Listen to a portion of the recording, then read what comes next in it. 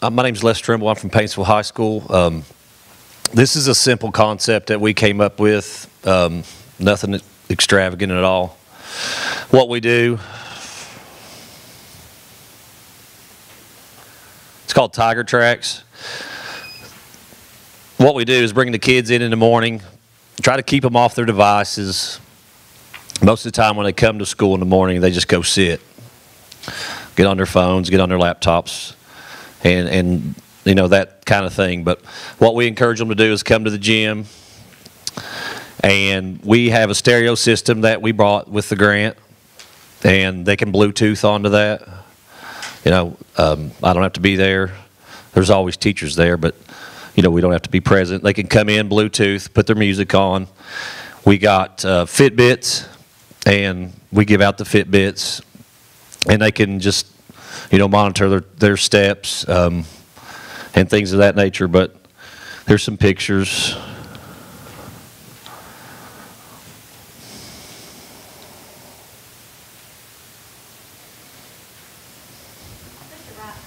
Oh, there it is. Not bad. Uh, That's the Fitbits we got.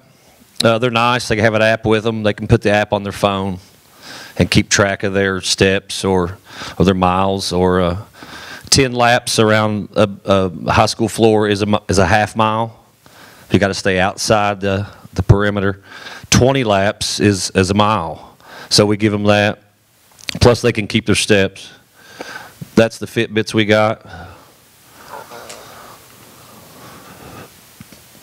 There's some of the kids.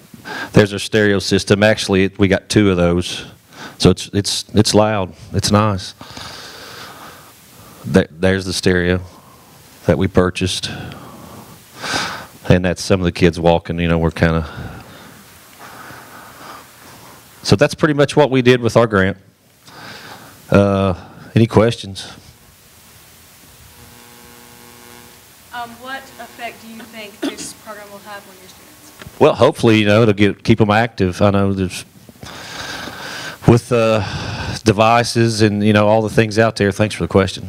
But I think you gotta, you gotta, you gotta keep moving, you know, your mind and, and it's, it's, uh, it's been researched. uh, um, Kids don't get enough recess, kids don't get enough physical education, in my opinion.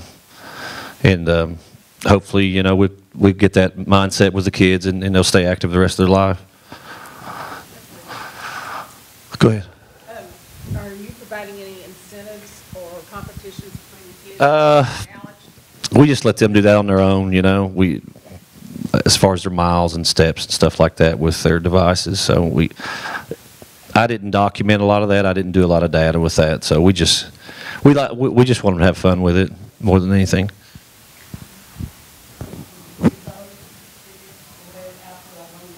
I wish, no, we didn't get that many, no.